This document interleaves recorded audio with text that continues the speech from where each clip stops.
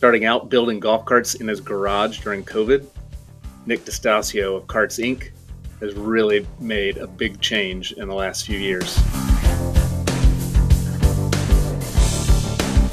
Golf Carting TV is your inside source for the coolest upgrades, mods, and accessories to take your trusty golf cart from drab to fab.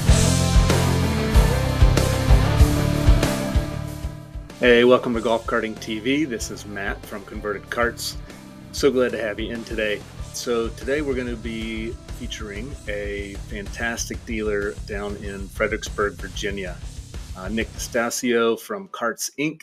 is going to be joining us. He's got some great stuff to say. They carry some of the top brands uh, available in the country, and we're going to get into some of that as well as some of his story about how he got into it and uh, I think it's going to be fun. So let's jump right in. All right, Nick. Well, welcome to Golf Carting TV. Uh, glad to have you and uh, excited to have a conversation with you. So welcome in. Hey, how's it going, Matt? How are you? I'm doing very well. So let's start with uh, just a little bit of the the story. What's the cart Inc. story? How did you get involved in this stuff? And uh, start wherever start wherever you want. Well, we don't we don't have a really long story, but I'd say it's a you know we've we've gotten lucky in a lot of situations and uh, made some good decisions and picked some good brands and some good partners and stuff along the way. But we start off in my garage, uh, about 15 minutes from where we are now. I basically we were we really enjoyed camping and and all those things, and with camping comes golf carts and uh, the inquisitive mind of mine kind of drew me into building more and more golf carts. As, as, as soon as I we I bought one, and then I wanted to build another one that was a little nicer, and that just kind of took off and went crazy. Uh, we started buying refurbs, mainly club cars. In December of 21, we ended up opening our first actual storefront location uh, where we picked up Evolution, and we were still doing refurbs there. And anybody that knows anything about the golf cart industry uh, refurbs kind of fell off. There were a few brands that that that helped ease that pain a little bit, and Evolution was one of them. So we took them in, and we took Icon in as well. Um, and since then, we've we've brought in Navitas. Now we've got Madjax X Series and all of them coming on. So we've expanded. We started with a small shop. We've doubled our footprint there. We're actually about to expand a little bit more. Uh, we've opened up another shop out in Urbana, Virginia. We have a used cart center about 20 minutes from this location. So um, we've, we've had a lot of growth really quickly. Um, I'd say COVID played a big a big role in it. We had a lot of obviously there was crazy demand during that time period, and that was in our real infant stage. So it caused us to grow really fast. And you know that you know there there's benefits to that situation. Now there's some things we go back and wish we'd have done different, but we've learned a whole lot, and uh, we brought on some really great staff in the meantime that is very, very knowledgeable in the golf cart industry. So tell me a little bit more about the starting in your garage. You said you bought one and then you bought another one, and like, was that just happenstance, or you had it and then somebody said, "Hey, I want that," and you said, "Okay, so I'll sell it," or did you have the mentality to start with that, you know, "Hey, I think I could build these things and flip them"? I've always had an entrepreneurial mindset. Uh, I didn't know what, at that stage, I guess you would say, I didn't know that it was an entrepreneurial mindset, but I know that it is now. Um, and so it, it was in my mind of, hey, I'm going to start cheap. I'm going to get the cheapest one I can that'll fit the bill for the family to get around the campgrounds and stuff. And now, and then it was, I would just continually upgrade that and then once I got to the extent, I mean, the first cart was a 92 E-Z-GO marathon. So you can only upgrade a 92 E-Z-GO marathon with so much, considering there wasn't much left of the frame either.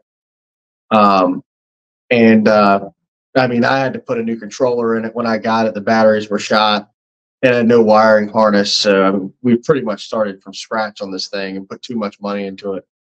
Um, so I bought another one, which was a, I think a 97. Um, and just kind of ended up going from there and sold that marathon, made doubled my money on it, was over the moon excited about it. And um, and then the next one after that was a, a Club Car DS. It was an O2, I believe, and uh, it just I actually still see that customer every now and then as well.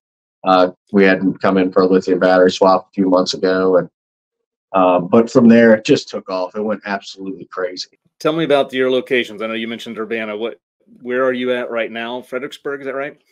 Yeah, so I'm in Fredericksburg. This is our Fredericksburg showroom. So we have a service department here, and uh, our warehouse space and all is in Fredericksburg. We also have a used cart center in Fredericksburg currently as well.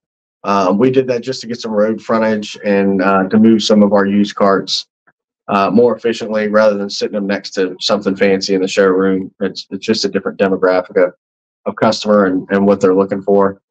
Um, and then our Urbana showroom, we actually acquired a, a company called Unique Golf Carts out of Urbana, Virginia. They've been in business for, I want to say it was about 15 years before we took them. Um, and so we acquired them and have since rebranded it to Carts Inc. as well. And, uh, and they're operating as we speak.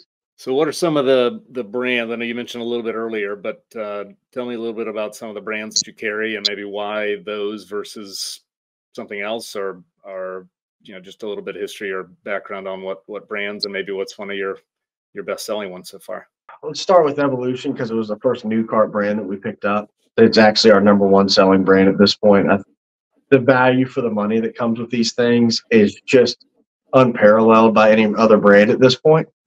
Uh, I mean, just they've got nine inch touchscreens on them, a lithium battery from the factory.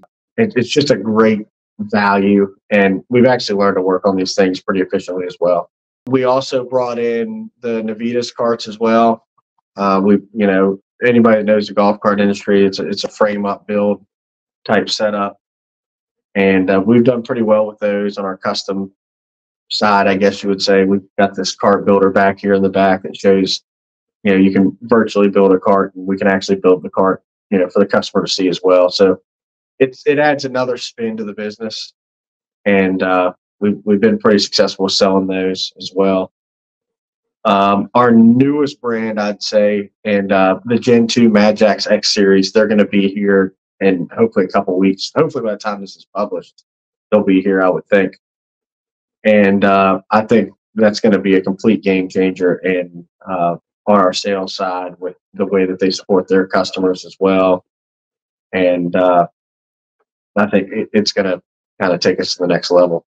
Nick, if somebody was was coming to you and and interested in buying a car for the first time, um, what are some of the the biggest questions they should be asking, or that you ask them to kind of make sure that they're getting? You know, if you're carrying several brands, so you know, how do you help them decide what's the right thing for them, and you know, what are some of the questions they should be asking when they're out there searching for something? We generally start with asking a customer what their use for the card is. Um, folks use them in in our area for several different things from campgrounds we've got lake communities river communities actual golf courses folks that use them on farms you name it we've got it out here there's uh, we serve a, several different markets so we, we start with that and a lot of times that limits you know i wouldn't say limits but narrows some things down considerably as to what they're looking for we talk about their budget as well and whether they're financing. Sometimes there's some financing incentives that help it out. So their budget, just in general, uh, what kind of performance they're looking for, and sometimes that's determined by what their use is. But you know, sometimes we have to talk about it because you know if they want to run 35 miles an hour, there's only a few options there.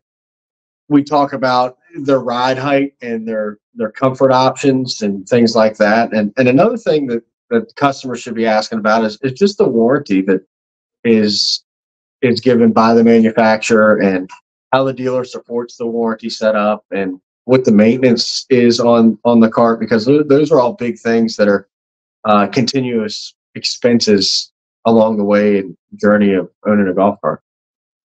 Tell me a little bit more about that. I've been hearing some uh, it's just come up in conversations more recently. But but explain to me the the kind of warranty side relative to some of the manufacturers. Maybe give me some examples uh, relative to a manufacturer, and then are there aftermarket options or something like that, or like what's what is it? Absolutely. we side. actually we offer an aftermarket option as well. Um, but for instance, Evolution's a two-year bumper to bumper and five years on their battery. And you know, Navitas they provide a, a two-year uh, warranty on their chassis. Uh, and you know, if we drop an eco battery in those things, that's an eight-year warranty on the battery, regardless of where we drop it, which is a good setup. Um, the Madjax X Series, for instance, is a three-year bumper-to-bumper parts and labor. They cover it completely, and then eight years on the battery because those have eco batteries in them as well. Um, and then we also offer uh, extended warranties through a company called EWG that uh, a customer can extend their warranty now up to about five years, I believe, and uh, maybe even longer now. I've got to double check, but it's about five years, and uh, that covers parts and labor anywhere in the country. They they'll pay the bill and get the customer back on the road. So if they buy it from us and they're in Texas, for instance, their warranty is still good to go, and uh, it follows the cart anywhere in the country what is it about the golf cart world that you love? Like if if somebody's just to ask you why in the world are you selling golf carts? Tell me a little bit just personally, kind of what's what is it that you enjoy about most? It's just fun. Um, it's you know, I mean, it's work like any anything else, and there, you know, some days are better than others, but really, it's just fun. You're dealing with fun people and a fun time of their life. It's it's recreational. Um, you're not selling somebody a, a, golf cart because they have to have it nine times out of ten. It's not like you know being in the car business where somebody comes in and they have to have it and they dread the whole payment thing. They dread the whole process. Uh, we we do it to have fun. We try to make the process as fun as possible. Um, our slogan's powered by fun, and and I think we live by that pretty well these days. And uh, I think that's what separates the golf cart industry from from several different things that that one could choose to do is um, I can't think of any time I've ever really been on a golf cart I haven't been having fun in some way or fashion. Yeah, I, I feel the same way. I know, you know, since I've gotten mine, it's just I want to get on it every day if I can. Unfortunately, in Ohio, we don't have as nice weather as you guys do down right, there, so I gotta I gotta deal with. It. Yeah, um, well, tell me a little bit about the the future. What does the future look like for Carts Inc. and where you guys where you guys going in the next year two years, five years? Well, I would say this: uh, the golf cart industry, especially over the past five years, has been uh, a very fast moving, changing industry. I mean, we go from being able to get inventory to not being able to get inventory to being begged to take inventory and um, and on the parts and the unit side. Um, so uh, I would say it's a really hard question to answer, but I can tell you that we're we've got some things cooking. We've we've got some, you know, we're working on a little bit better web presence. Uh, we, you know, we're expanding stores as well. There's a couple of options on the table for that as well. So, um, without giving too much information, but do with that what you will. I really appreciate you coming on today, but share a little bit about, and we'll put some stuff on the screen and things like that. But uh, tell us how you, where you can you be found? What's the internet uh, website address, social medias, things like that?